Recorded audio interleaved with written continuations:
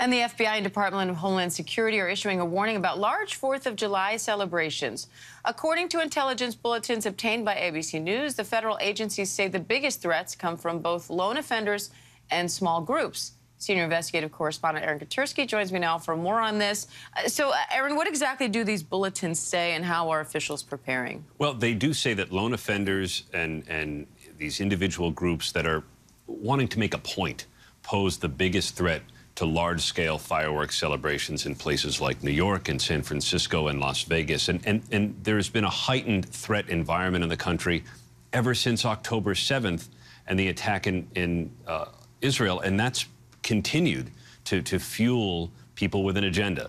Uh, and, and it's not the only thing that's fueling people with an agenda. There are other agendas. The political environment of the country certainly doesn't help. So uh, police are being told by the FBI and the Department of Homeland Security to be on watch for these types of things, which are notoriously difficult to guard against. And they say these big celebrations are, in their words, attractive targets. What exactly did that mean? And they're still pointing out some differences, though, between them. Tell me more it, about it, that. It means different things. In some cases, like in San Francisco, where, where petty crime has been quite a problem, you put 250,000 people on the wharf, and and you know there are targets of opportunity there for for for thieves, uh, and also for something involving mass casualty. But the, that that's one specific difference.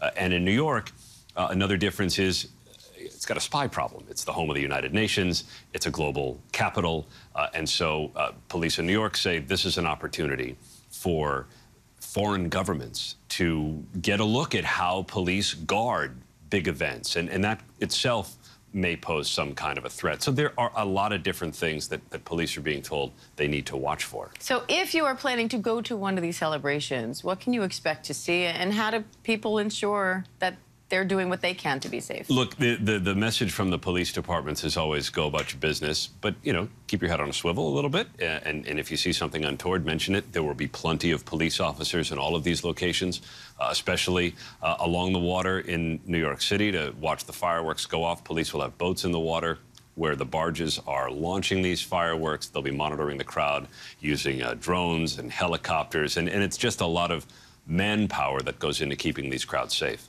All right. Our senior investigative correspondent, Aaron Katersky. Thanks, Aaron. Thanks, Diane.